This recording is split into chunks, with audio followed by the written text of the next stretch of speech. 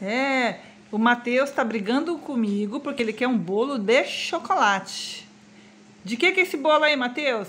Um bolo com chocolate. Ah, então, come o bolo então. É um bolo que eu fiz, sabe? De milho, chocolate. Ai, que bolo gostoso. Tá bom? Tá gostoso? eu tenho que